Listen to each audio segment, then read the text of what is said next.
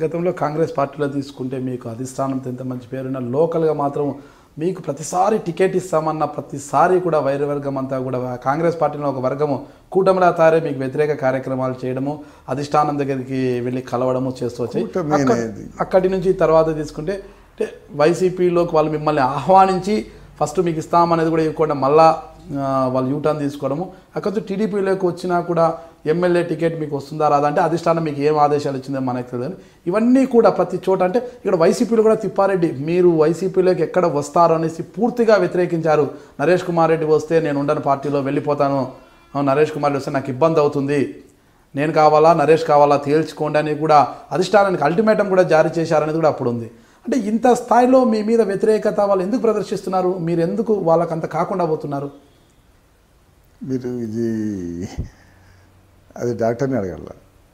ఎమ్మెల్యేనే చెప్పాలి దానికి ఆన్సర్ నేను వ్యతిరేకంగా ఎందుకు పోతున్నాను ఏం చేస్తున్నారు అనే దానికి నేను ఎట్లా ఆన్సర్ ఇవ్వాలి దానికి? వాళ్ళు వాళ్ళ వాళ్ళకి ఎందుకు అంత అబద్ధత భావంతో ఉన్నారో వాళ్ళు చెప్పాలి. నేను కాదు కదా చెప్పాల్సిన అవసరం దానికి.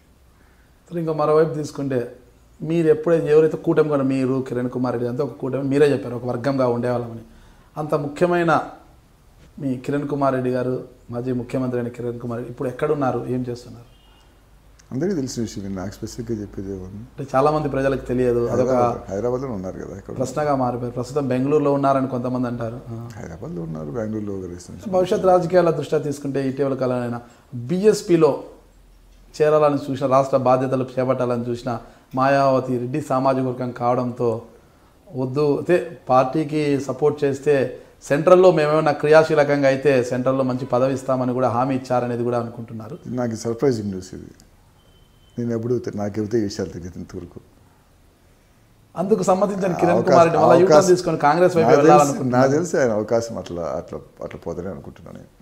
అంటే బీజేపీలోకి వెళ్ళారు వెళ్తున్నారు అనేది పెద్ద ఎత్తున రూమర్స్ అయితే వచ్చాయి గ్యాసిప్స్ వచ్చాయి పత్రికల్లో కూడా వచ్చాయి. బీజేపీ వైపు కిరణ్ చూప్ అనేసి కూడా వచ్చాయి. బీజేపీ వైపు వెళ్తే పీలేరు నియోజకవర్గం తన సొంత నియోజకవర్గం పీలేరు అంతా కూడా మైనార్టీస్ ఎక్కువ ఉండడంతో మైనార్టీస్లో వ్యతిరేకత వస్తుందన్న ఉద్దేశంతో బీఎస్పీ వైపు చూశారు. బీఎస్పీలో కూడా శ్రీముఖం ఎదుర్కోవడంతో యూటర్న్ తీసుకొని కాంగ్రెస్లోకి వెళ్తున్నారు అనేది అదే అలిగేషన్స్ ఎక్స్పెక్టేషన్స్ పబ్లిక్ ఏంటంటే ఊహించుకుంటా పోతుంటారు. ఇప్పుడు ఆయన స్టేట్ లెవెల్ డిస్కషన్ వచ్చినప్పుడు ఒక కాన్స్టిట్యూన్సీ చూసుకుంటారా? అంటే సొంత నియోజకవర్గంలో ఆయన గెలవాలి కదా ఎమ్మెల్యేగా?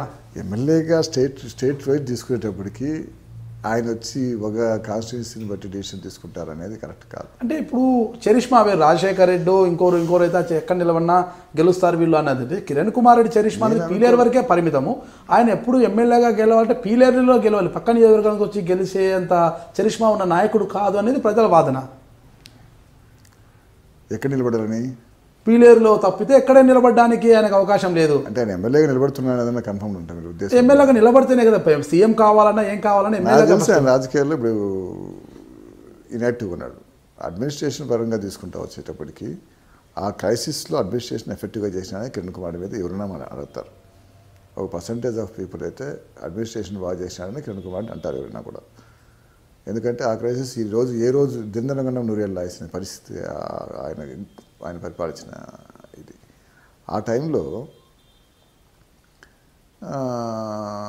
పాపులర్ అంటే కన్నా పాపులారిటీ అనేది రాజశేఖర్కు వీళ్ళకు ఉన్నంత పాపులారిటీ ఉందనేది రామారావు గారికి వీళ్ళకు చంద్రబాబు గారికి ఉన్నంత పాపులారిటీ ఉందనేది వాస్తవం ఇది కాకపోవచ్చు. కానీ ఒకటైతే విషయం ఏమంటే ఆయన వచ్చి కాన్స్టిట్యూన్సీ లెవెల్లో పాలిటిక్స్ చేసి పప్పి దాన్ని బట్టి డిసైడ్ చేస్తాడు బీజేపీ పోతున్నాడు అనేది ఆలోచన తప్పు. బీజేపీ ఇది అలిగేషన్ పెట్టాలనుకున్నప్పుడు టకటకాని ఏంటంటే అలిగేషన్స్ పెడుతుంటారు. ఈరోజు బీజేపీ పోతున్నాడా చేస్తున్నాడా? ఈ ఇన్ఫర్మేషన్స్ అయితే నాకైతే లేవు. ఈరోజు కాంగ్రెస్ ఈరోజు బీఎస్పీ అన్నారు. ఎప్పుడు కానీ న్యూస్ అనేది ఎప్పుడు కానీ అట్లా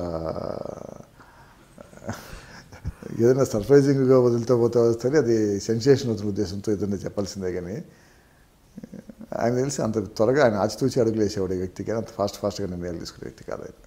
మీరు చూస్తున్నారు ఐ డ్రీమ్ న్యూస్ని. మీరు చూస్తున్నది ఐ డ్రీమ్ న్యూస్. అంటే కళలని నిజం చేస్తూ ప్రజలకి నిజాలని కళల ద్వారా తీసుకొచ్చే ఐ డ్రీమ్కి మై బెస్ట్ విషెస్. మీరు చూస్తున్నది ఐ డ్రీమ్ న్యూస్. మీరు చూస్తున్నారు iDream channel. For more videos, please subscribe iDream. మరిన్ని వీడియోల కోసం ఐ డ్రీమ్ని సబ్స్క్రైబ్ చేయండి please subscribe iDream and I'm very much satisfied with the way interview went on. kindly subscribe to iDream. For more videos, subscribe to iDream. And loads of fun entertainment and content. Do watch